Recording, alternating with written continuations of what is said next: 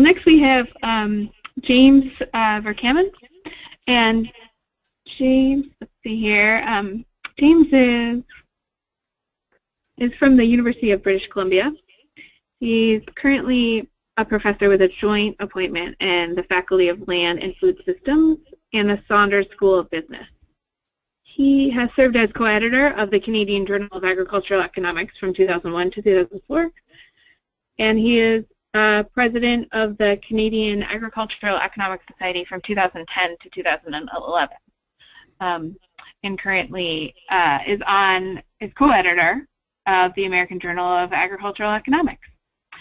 So his research interests are broad, and they include commodity pricing, risk insurance, agri and food industrial organization, as well as agri-environmental markets.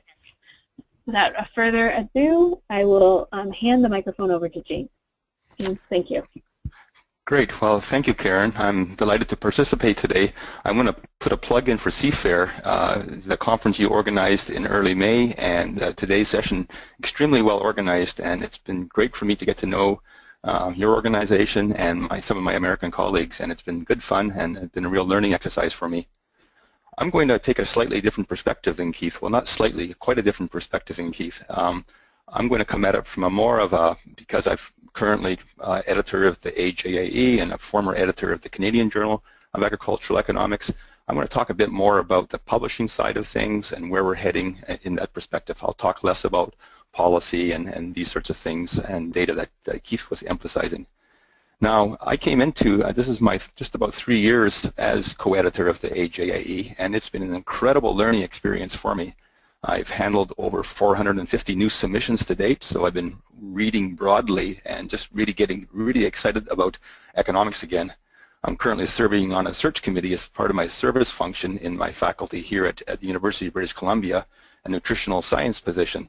And while it's very interesting, they're looking at obesity and uh, health outcomes related to nutrition, I can't help but think that us as economists, we, we really approach our problems with rigor and with creativity and with uh, lots and lots of cool uh, methods. So that really has gotten me excited about being an economist again and, and uh, sort of getting fully re-engaged in research once I finish my final year as editor. Now, I came in being primarily a theory person, so unlike Keith, um, some of you might know my textbook. It's called uh, Agricultural Marketing, uh, Structural Models for Price Analysis. So I tend to look at the world in terms of um, you know equilibrium and optimization and marginal this and opportunity costs like most economists do, but I tend to use that as more, more of my framework and somewhat less emphasis on data. So I was a bit, I wouldn't say shocked, but um, the AJE has evolved from when I first started publishing in 25 years ago.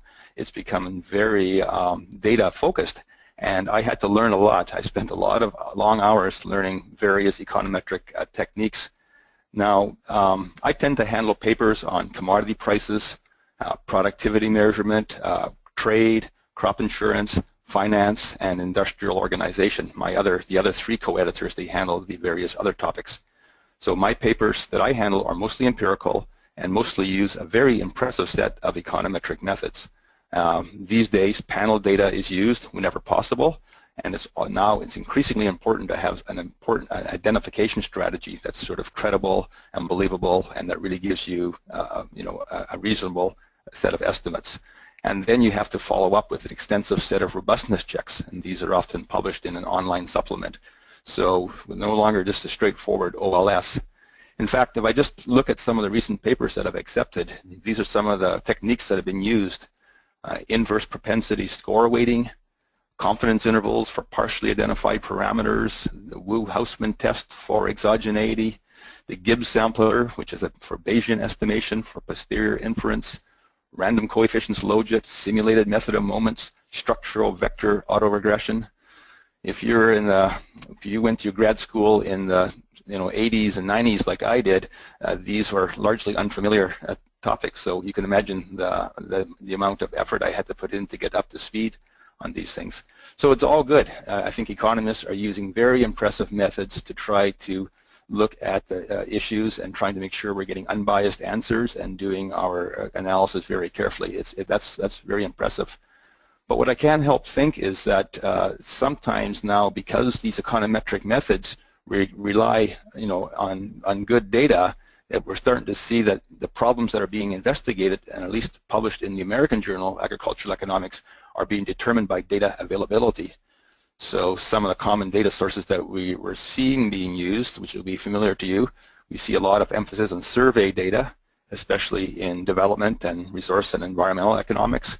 Increasingly, we're seeing computer labs being set up at various universities and generating large amounts of experimental data, sometimes in the format of auctions and sometimes just simply through uh, games that are being played between students and participants. We have a large amount of government data and uh, data from NGOs such as the FAO. This is very uh, common in trade and crop insurance and these types of analysis. Of course, we have an abundance of data from futures markets and cash prices, and this is being used mostly in time series analysis in agricultural marketing. And now we're seeing more and more scanner data is being used, which is common in, in food marketing. So this is all good. We're seeing, we're, we're seeing some very, very impressive uh, types of analysis. But what I worry about, and I was assigned a topic to talk about agribusiness and food marketing systems, is that many of our interesting and important problems lie within agribusiness and food marketing systems. And uh, not many of you will, of course, agree with me that detailed data is typically not available because of confidentiality restrictions largely, large firms are not, not very eager on sharing their data because it reveals their competitive strategy. And even within government data, they have to block out certain types of data because of worry about confidentiality. So uh, what are we left with? And as markets become increasingly, you know, um, vertically coordinated and spot markets sort of are fading away, we're sort of having less and less data available for us to work with. So of course we can examine these problems theoretically, but then you sort of have to question the validity of the assumptions. Uh, how valid is the theoretical model that you're you're looking at? And uh, I've had a, actually quite a challenge, despite myself being co-editor of the AJAE, I've had challenges in the past of trying to publish my theory-only papers in this journal. Reviewers are typically not keen on theory-only papers. They, they really are happy to see theory combined with data or even if you have weak data, I'm seeing increasingly the reviewers I'm using, if uh, the author's data is not particularly strong, for example, if it's only cross-sectional and not panel data, or if it doesn't have a strong identification strategy involved with it, it's often, you know, sort of criticized and said maybe it's better for the more applied journal, not, not for the AJAE. So let me tell you about some problems which I think are really fundamental to us understanding in the world we live in and contributing as ag economists that have very little data associated with them. We know that contracts are integral to food marketing supply chains and for the most part we don't have a very good understanding of contracts and how they drive our economic markets. For example, one thing we know very little about is private label contracts between food retailers and food manufacturers. Are these good? Uh, are is more better? Are they always in the consumer's best interest? So certainly an area that we need to explore, but we don't have good data. Uh, what are the welfare implications of a slotting contract? For those of you who don't, who don't know, a slotting fee is something that a food manufacturer will pay to a, food retailer to get their product placed on the shelf. Is there any evidence of market failure due to holdup? So that's a standard concept of when there is um, um, asymmetric information and uh, sunk costs and uh, the scope for opportunistic behavior. To what extent do we need to worry about this in our agri-food markets? In livestock production, we know there's alternatives. We have production contracts and marketing contracts. How do we know how these compare with regarding risk sharing and incentives? Where's the data to answer uh, these important questions? Uh, increasingly, we know that we're, we're, concerned that there's not enough R&D happening in our agri-food systems. You know, public R&D is giving way to more private R&D, and we see uh, more and more this gridlock in commercialization due to the anti-commons problem. It's sort of the patent thickets you just can't get through, even if you have a great idea that has some value, and royalty stacking. And then the issue about when you do invent something cool and you want to sort of get it to market, how do you get your finance for it? Do you use a fixed fee or a royalty technology license. What are the determinants of IP protection in agricultural biotechnology? The list of options is growing. Utility patents, plant patents, plant breeders' rights, trade secrets, trademark, tangible biological property. How do you think about this? And once again, where is the data for ag economists to make some sort of contribution and helping policymakers sort this out? We know in genomics can have a very, is having a very profound impact in, uh, on our process and product innovation in the agri-food sector. So we ask questions, why has the rate of adoption in marker-assisted selection technologies been relatively slow, despite all the hype about this technology? Where in the supply chain is adoption most likely? How are the benefits distributed? Are there double marginalization issues? These are all important questions that economists should be weighing in on. Uh, are consumers willing to pay the cost of using genomics to facilitate improved traceability and food safety?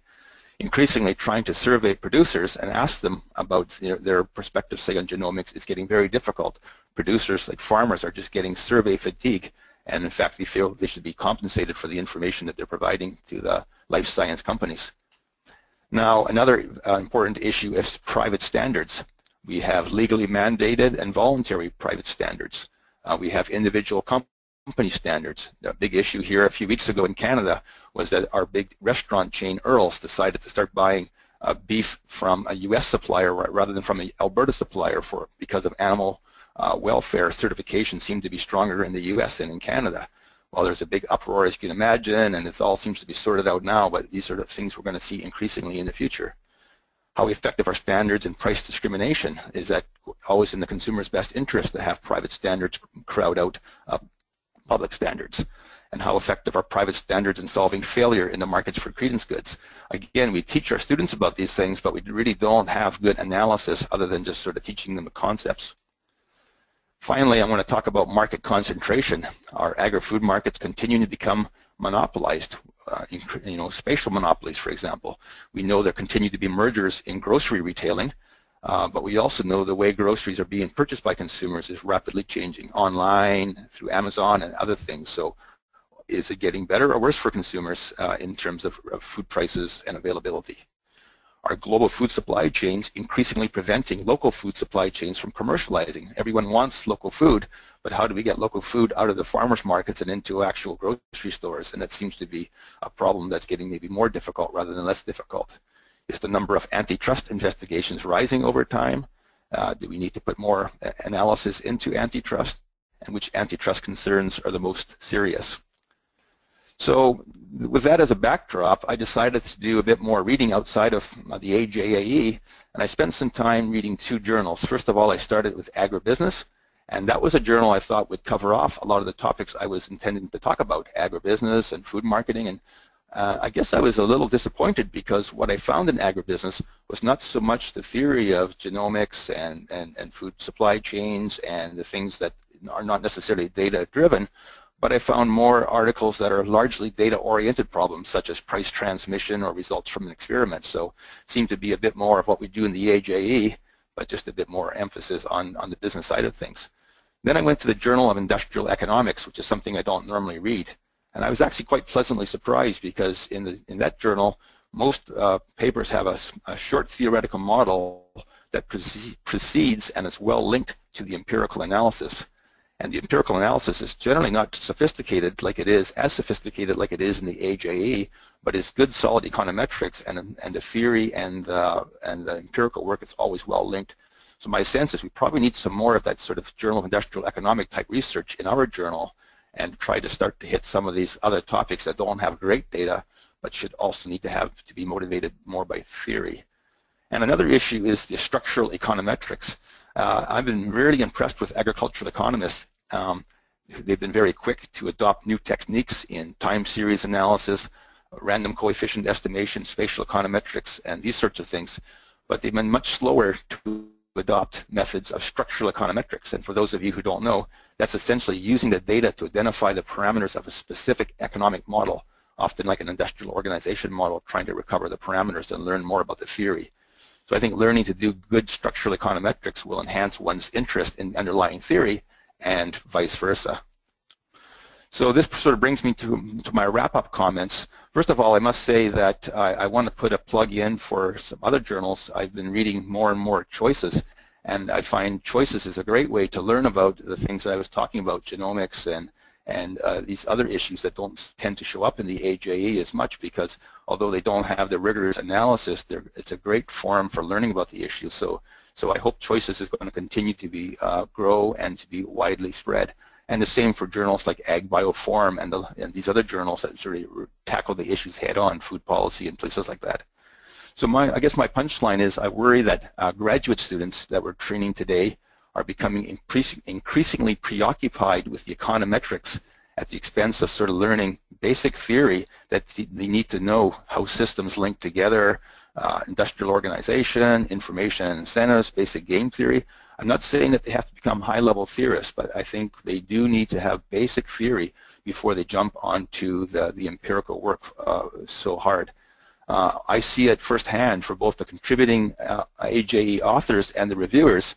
I see a definite lack of understanding of the basic theory, the stuff that I've sort of my bread and butter in my graduate school. Either it's not being emphasized in the curriculums or the students are just kind of letting it slip from their, their memory once they get onto their empirical work. And um, so many of the issues being discussed in the preceding slides are not being researched, possibly because they're, they lack data and therefore they uh, don't have lend themselves to the sophisticated econometrics that authors believe are needed to publish in the AJE and other high-quality journals, or simply that the students themselves don't really have the training to, to examine issues of food supply chains because they're not really as strong on the theory uh, that they need to be. So let me just uh, wrap up here. Um, what, what role, what can we do about this? I, I think we do need to uh, make changes so that these topics that I talked about are being more addressed. What role do case studies have in serious economic analysis of food supply chains? Well, I think we tend to think of case studies where it's maybe somewhat dismissive because you know they, we don't use our rigorous tools of analysis. But you know, when some of these issues, they might not be so bad to do either qualitative analysis and focus groups or, or case studies to, to shed light on some of these important questions. I think we should uh, try to bring them up in, in terms of stature and not be opposed to, to uh, publishing these types of papers in journals like the AJE. How do we change the mindset of reviewers and editors who routinely reject papers because they worry about the data? If it's not high quality data, right away you have a strike against you when you're trying now to publish in the, in the AJE and other journals. And I guess maybe this is the most critical comment I have what is the marginal value of continuing to examine some of these sort of what I would call worn out topics using increasingly sophisticated econometrics. Don't get me wrong, I think agricultural productivity is a really important topic, but I've seen so many papers on agricultural productivity over the last two years using largely USDA data sets and they're simply using increasingly sophisticated econometrics, and I'm not sure how much more we're going to get out of this topic until we have something, you know, either new data or something, some some issue. Whereas there's so many other things that we should be exploring. And uh, I think many of you know about the controversial AJE invited papers. You know, they've, they've, they're no longer, they're now refereed and they haven't had a particularly high publication rate. And there's lots of discussion about how we should manage the AJ invited papers. Maybe there's a role for using the invited papers that can steer us down the path of trying to tackle these more complex topics that are not data driven and at the same time uh, you know being published in the AJE. So thank you very much. And um, I look forward to seeing and meeting many of you at the meetings uh, this summer in Boston and uh, and uh, becoming increasingly engaged in the American the American Association as well as my Canadian Society. So thank you. Thank you so much, James.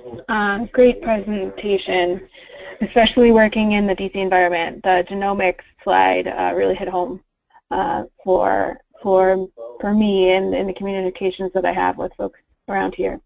Um, we have a couple of questions. Um, some of them kind of reiterate some of the points that you put forward. Um, Amelia uh, asked, for young ag economists lacking the sophisticated econometric knowledge, what's your advice is there a place in the science for them? It's, it's, it's a very good question, and it's interesting. I'll, I'll bring it back to the search committee that I'm sitting on, to these nutritional scientists, and the number of publications, they seem to be all about numbers. Like this young postdoc, she's got uh, two years out of a PhD, and she's got 30 publications already, and that just like that just floored me and I don't understand how that works. But then you start to read some of the publications and you realize that they're they're they're not using the really sophisticated econometrics. And so I think there is a role for economists to sort of target a much broader range of journals. It doesn't have to be in sort of the mainstream journals that we always think about.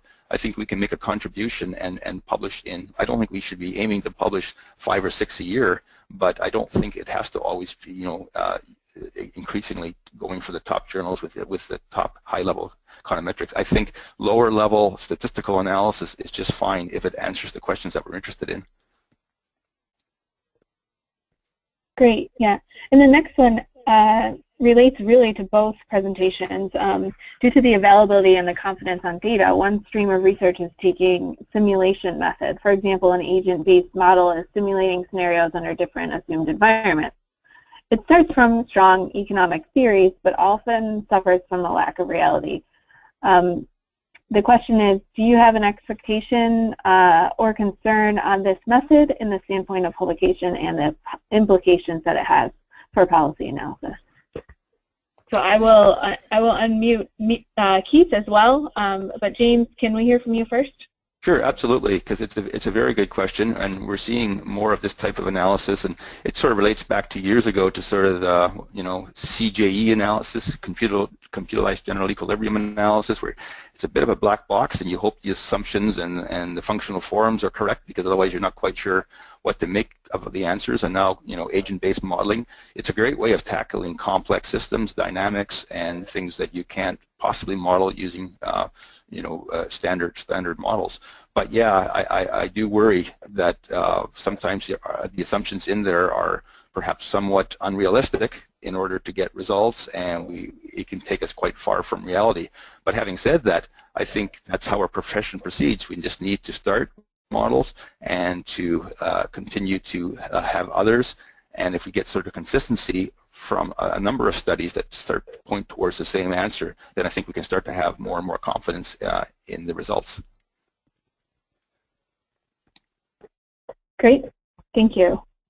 Keith, do you have any additional comments on that topic? Yeah, I'll follow along with what James said. I think we have had models like that for a long time, uh, the math programming models that were very popular a few decades ago uh, were kind of the same thing. Uh, and I think the key thing for us to, to accept those is that you have to be very transparent about your assumptions. The difficulty is that in building a model like that, you are, uh, it's, it's just a huge task to do what I just said uh, because all these parameters come from various places. Um, I think James's point is very good, is that we, if we get multiple models and and they seem to be pointing us in the same direction, we can be we can have greater confidence. But we don't have in many instances the statistical uh, tests that we normally make us comfortable. But I think we will find that in in certain instances that we're we're simply going to turn to those models because we don't have any alternative. And that's and that's probably what we should do. Great, thank you. Um, James, did you have any comments about your conversation during the breakout group? Did you have any things that came up for you that you might want to talk about here? Absolutely. I'm glad you asked me because I scribbled down some things and I was hoping you'd ask me that. Um, we talked a lot about agribusiness and the role of agribusiness in our profession and it's sort of and the relationship to the business school. So increasingly, and I think it's true in the U.S. as well, but in Canada, many of our undergraduate curriculums are turning towards agribusiness. That seems to be the bread and butter. That's where the student numbers are coming in. And so we sort of have this divide. We have traditional ag econ economy, uh, departments that have not tended to, to do much ag business in their own research, but now curriculums that are full of ag business. And then we have business schools that are teaching business and business school marketing versus agricultural marketing. So the world seems to be, it's sort of a, a, at an interface right now, and it's not sure how this is going to sort out. I think agribusiness is an increasingly important uh, component but I think it, it, in some sense it's been a little bit shunned in our discipline. And I think as, as ag economists, we would be wise to bring agribusiness back into our fold and include it mainstream as much as possible because I think a lot of the issues that I talked about are, are going to be increasingly in, in the agribusiness environment. Thank you. That's great. Um, so we have a question about about sort of open data and open access for journals. And, you know, this has been a big conversation at the USDA. Uh, actually, they had a solicitation for public comments on this uh, that closed a little while ago.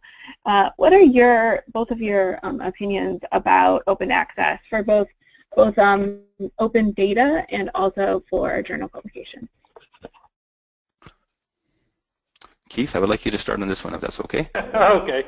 Uh, I was hoping you would, but I think, you know, every once in a while we as a profession need to stand and, and go look at what's going on in other disciplines because I think a lot of this conversation, uh, a lot of the efforts to uh, get people to reveal funding sources and things like that really started in other disciplines and have come at us and, and, and, and we really didn't quite understand why until we looked at the sciences and NSF and things like that. Uh, there is great value to uh, having this open access. A, a, couple of thoughts. One is I, I worry a little, a little bit in this arena. Are we going to give enough credit to those who produce the original data? Um, I once worked at USDA, and there were a lot of very dedicated, hardworking individuals there who uh, created data sets that other economists uh, picked up, freely used, and, and, and really didn't give much credit for. Um, I, I think we've got to reward people for constructing high-quality data. Uh, and, and then the other side of this that I think is a dilemma, and I don't have an answer, but for example, if we talk about the, the, the, uh, the, the, machine data that may be coming off of farm equipment today, um, there's going to be great sensitivity about making that data available. And so I think this is an important conversation for us to have. I think we're just starting it, and we need to think through all the ramifications. I don't have the answers. James, I'll let, I'll let you pick up. well, my sense is, of course, I'm not as much of a data person as yourself, Keith, and, and many other people, my colleagues, but um, my sense is that people get excited about big data sets. So whether it's got, you know, uh, crop use data sets from satellite imagery or whether it's genomic information that's being tested from gene sequencing, there's a lot of excitement, like sort of more is better. But on the other hand, I see a lot of the papers that I look at just because you have lots of data, if it isn't the right kind of data, you really can't answer uh, the questions that we're interested in. And uh, so open data is, I think, a, a, good concept, just like we've seen open source and many things now have led to tremendous improvements very rapidly. Open data, I, I believe, is sort of a step in the right direction. But if open data simply means just generating, you know, data sets with millions of records from very fine grids, from satellites, or from genomic sequencing, if it doesn't have the right, say, price data to match with it, or the right, you know, data about incentives, or if you still got lots of heterogeneity in the agent base that's, you know, that's associated with the data, I still don't know if we're that much further ahead from having, you know, a million records versus, uh, you know, you know, 600 records of better quality data. So I think that's going to play itself out, and I think increasingly reviewers are need to be conscious of this, not to be sort of mesmerized by, you know, these young scholars who come in there with these huge, impressive data sets and are using these very sophisticated econometric methods and claiming things that are somewhat questionable because the underlying uh, the underlying data that we really need is still not there. And Karen, I, I would echo what James just said. Is, the the excitement that the profession get, has when we get access to these new data. But in, but the downside of these sources of data is that they weren't created in a structured fashion. And misspec misspecification problems are going to be rampant. And that's why my slide with the three circles, I think that's where the really creative economists are going to find these sources of data and then find ways to augment them and fill in the gaps with the variables that James is talking about, if at all possible. Yes, this process, we would like to identify some of those gaps. Um, I know that's probably a lofty goal because um, in many cases they're very nuanced, but uh, that is something that we're interested in hearing from people about. Um, and I think that really closes our session. I mean, it's really super points to, to end on. So, um, so any other questions that you have for the presenters, please um, send them to me or uh, just ask the presenters directly, and I'm sure they'd be happy to give you a response. Thank you all for participating. Thank you, James. Thank you, Keith, for your time today and in preparing, preparing for this event and the workshop. Thank you very much. Thank you. With that, we'll close. Take care.